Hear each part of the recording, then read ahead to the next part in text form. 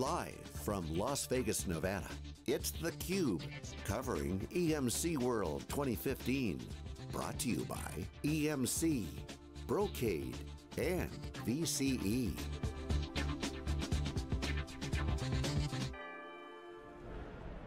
Okay, welcome back everyone. We are live in Las Vegas for EMC World 2015. This is theCUBE, SiliconANGLE's special broadcast of EMC World 2015. We go out to the events and we extract the signal from the noise. I'm John Furrier, the founder of SiliconANGLE. I'm my co-host Dave Vellante with Wikibon.com. Our next guest is Chris Waugh, Enterprise Technical and Architect at St. Charles Health System from Bend, Oregon. Welcome to theCUBE. Thank you, nice to be here. Um, so first, tell us a little bit about uh, Bend, Oregon. I mean, I mean, I love that place. It I've is, heard, beautiful. heard great things It's going there for the first time. Charles, St. Charles Health System. Tell us about, tell us about your, uh, your, your, your opportunity there. Uh, yeah, so at St. Charles Health System, uh, we have four hospitals, about 15 different clinics.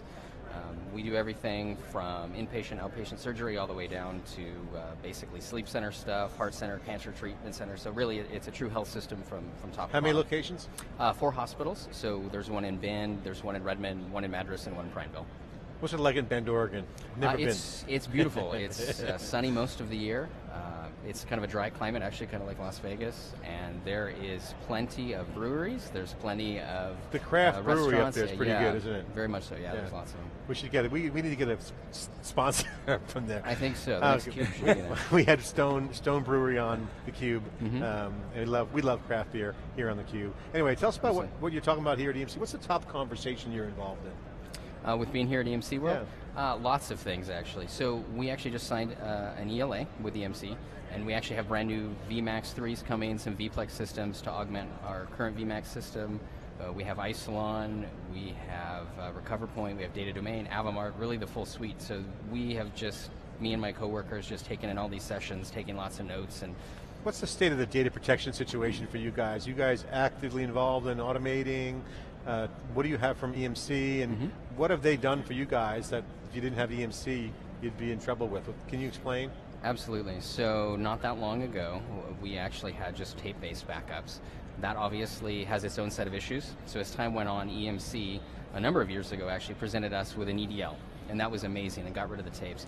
We've progressed even further now, so now we have Avamar and Data Domain as the back-end storage, and we don't worry about it anymore. We do snapshot level image backups of all of our VMs. Uh, we do SQL backups from the file level of that. All of it gets deduped on the back end with Data Domain. We replicate all of that data uh, back over to the DR site, and, and it's Did it help with the multiple locations? What was the life before E EMC? So before EMC, uh, it was one giant tape library in one location. Uh, in the event that you needed something restored, it was run down to the basement, open up, try to find the tape, get the tape in there, wait for that to load, wait for that to recover. Uh, now it's not that way at all. It's two locations. We have our primary data center where everything gets backed up to. That gets completely replicated to our DR site, and we can restore from either location. No tape. No tape, not at all. Uh, Completely eliminated tape out of your is shop. no tapes at all in our shop. Yeah. Okay, so tell us a little bit more about your, your infrastructure. Mhm. Um, actually, you know what? Tell us about the apps that you're supporting, and then let's work back into the infrastructure. Okay. Uh, so the primary apps that we would consider tier one would be our electronic medical records. Um, so those are primarily Microsoft with SQL as the back end. Going through that, we have interface systems that tie all of that together. We have our ambulatory EMR systems, uh, things that support the hospital like uh, nurse call and different things like that. Uh, and then we go down to the basic infrastructure of exchange and file shares and department shares and Mhm. really the whole gamut of. Okay, stuff. and then the, the physical infrastructure, we you got a lot of EMC stuff, but take Mhm. us through sort of what the what the infrastructure looks like. in Sure. So more we're uh, primarily blade chassis for all of our servers. Uh, it's about 98% virtualized, so it's pretty much all VMs. The only thing that's not a VM is pretty much appliances and different stuff that have to stay physical. Uh, that's completely at our primary site.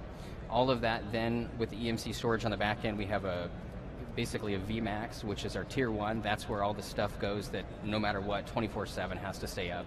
Uh, what we would consider our tier two, which still stays up all the time anyway as well, but that's our VNX. That all gets replicated to a VNX at the DR side with Recover Point that we're rolling out. Uh, the VMAX is replicated with SRDF, and then again, the backup side is Avamar Data Domain. Then for the file level system, we have our Isilon, and so we have two of those as well. One of those is the Pride production site, That one gets completely replicated to the DR site, snapshots on both ends, and as What challenges do you have in managing this infrastructure? I mean, it's uh, some of it was bought in. Mhm. You know, Isilon was an acquisition. Mhm. The the, the data domain Mm-hmm. acquisition. So different sort of products. How are you integrating those? How is EMC helping you integrate those? What are some of the challenges that you face there? Well, one of the big challenges we had for a long time was everything was just kind of disparate systems. We had individual rack mount servers, we had uh, DAS systems, we had uh, attached storage that was either archival stuff, it could be file shares, department shares. We had individual Microsoft file systems. Basically, we took all of that from the file level side and wrapped it right into the Isilon. So we do so much with just one, literally one file system. We went from three guys that were running the server storage side, and we were literally about one eighth of the infrastructure we are now. We're eight times that now in the last five to six years. We only have four people. Uh, so although we've complexity wise have grown quite a bit, management wise, thanks to EMC and that technology, we have barely any more people. Why? Why is that? Can you help us understand? Absolutely. So, one of the things, again, with the Isilon, which has been a, a, huge hit for us, is we don't have to manage all these different pieces of hardware. We don't have to manage all these different applications looking at different systems, all these different management interfaces. If it's file level, if it's archive, we go to the one, uh, OneFS file system, manage that from there, which is really easy. As far as the VMAX and the VNX, just two portals for everything, giant data stores, we're able to basically manage it with very few people. EMC was very instrumental in coming in, basically helping us consolidate that down and just make it easier to use. You, so you uh, an all EMC storage shop? Uh, pretty much. Pretty the, much? Only, the only thing that's not at this point is VDI, but eventually with our ELA that just might happen.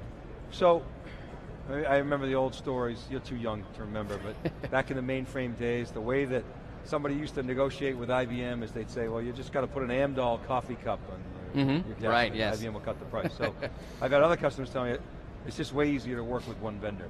Help us think through the sourcing Mhm. argument. Single throat to choke, or better to have a little, you know, competitive knockoff going on. Well, I'd say competition's always good, but the single throat actually has helped us a great deal. So, for example, back to the backup idea, we used to have, obviously, it wasn't EMC storage many, many years ago, but we'd have one application that was running backups. Eventually, it became EMC storage because it was the EDL. But then, if there was issues with backups, to your point, who do you call at first? Well, you call one vendor, and then they're going to show you, well, maybe it's this. If you try the other vendor, so with Avamar and Data Domain, uh, along with those backends, we, we love it. That also makes our complexity far less. If there's ever issues with backups or something like that, we call EMC. We open a ticket with PowerLink. Top to bottom support, the application right down to the hardware level, it's all the same. And that has helped us tremendously. Okay, that's interesting. So, um, talk about the roadmap. Mhm. You know, you, you mentioned, actually, again, take it back to the business. Sure. Electronic medical records, Obamacare, meaningful use, doctors that are increasingly more, I guess they're more receptive to technology these Yeah. days than they used to be. Mobile, Mhm. data, uh, HIPAA, Mhm. got a lot of challenges in your business. Mhm. Um, where is that going and where is your technology going? So right now, uh, again, we're not too complex. We try to keep that small. But roadmap-wise, what we're doing is we're really trying to beef up our DR strategy. So we're building a brand new hospital in Prineville, Oregon. And in doing that, the IT department partnered with the business and said, hey, we want a full DR space. We want something that's just as nice as our production data center, all the bells and whistles. And so in doing that, we've partnered with EMC as well, and we're basically going in and we're going to put all of our EMC gear replicated there. We have some new Vplexes coming in, so really heavily at EMC World, we're looking at some Vplex stuff and how we're going to make some active active data centers. And one of the biggest things that the doctors and the nurses and all that want is 24 by 7 uptime of that application. That's going to buy us that. We're going to be able to basically fail over to the DR site live if we need to, do whatever kind of maintenance we need, be preemptive about that, and, and keep them happy. As a technologist, what what are you excited about? I mean, people have been saying here at this conference, we're living in the most disruptive times that we can ever remember. Mm-hmm. Probably true. Yeah. Cloud, mobile, social, big data, platform three, blah, blah, blah. What excites you as a technologist? Oh, lots of things. Um, again, I, I would have to say honestly, the Isilon has been one of the biggest things, just because of the challenge of just images everywhere, pack stuff, sleep studies, all that kind of stuff. So that that's just been phenomenal. That excites me. Um, the VMAX 3, honestly, very uh, excited about that. We're going to roll out vSphere 6 here at some point soon to be able to use that with vVols. Uh, the whole Hypermax thing and be able to actually future-proof ourselves. That's exciting. The active-active data center is exciting. All this kind of stuff that forever you could do, but it was kind of a little bit harder. It's becoming so much easier with as little resources we have. Uh, so yeah, me, me and the guys we work with, every day we go to work, it, it's really exciting. It's, it's really fortunate to be so in the you business. stand up stuff pretty quickly and integrate it. We can, and that's honestly the nice thing with all the stores, especially with uh, the Isilon or even the VNX. Anytime we partner with EMC, they help us forecast our storage. We're able to really get storage in the door relatively quickly, provision it out, and just keep on moving. Because virtualization, we honestly went from maybe a couple hundred servers a few years ago, three or four years ago. Now we're over 1,500 and growing with VDI. And it, it, just doesn't slow down, and we haven't had any bottlenecks with storage because we just keep expanding it ahead of time and planning. That's great. Chris, so much. Thank you so much for coming on theCUBE. I wanted to get your final mm -hmm. word for you. Mm -hmm. Share the folks out there who are watching mm -hmm. that are looking at the same journey you've been. What, what have you learned? What would you share for advice for them? Well, it can be overwhelming, obviously, with all the different types of technology. The biggest thing that helped us was partnering with EMC, as we said, and basically saying, here's our problem, here's the solutions we need, because there's so many different things that overlap, but which is a good thing, because when you look at that, uh, you can really get the niche of exactly what you need. And so what we did was just say, hey, here's what we need, here's how we need to achieve that, and then they basically hit, here's the different options, here's the solutions you can make, and, and we've tailor-made it from top to bottom with one vendor. Final, final question um, everyone's dying to know is, what is your favorite beer? ah.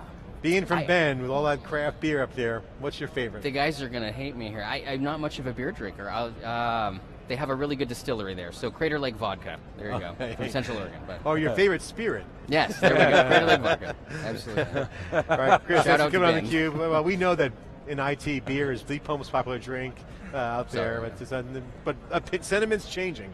We're craft, we're craft beer oriented, IPAs always. This is a theCUBE, very beer friendly here at EMC World. Yes. We'll be right back after this short break.